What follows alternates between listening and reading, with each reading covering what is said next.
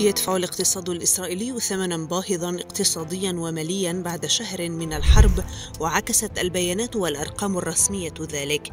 ففي أحداث البيانات الصادرة عن بنك إسرائيل المركزي تبين أن الاقتصاد الإسرائيلي يتكبد أسبوعيا 2.3 مليار شيكل أي 600 مليون دولار.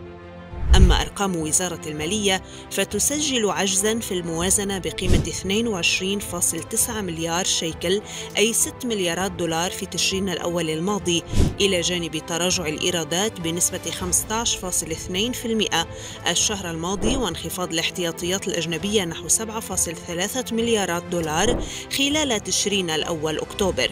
فضلا عن تأثر السياحه بصورة كبيرة وتقلص عدد رحلات الطيران وتضرر القطاع التكنولوجي والشركات الناشئة القوة الدافعة للاقتصاد الإسرائيلي.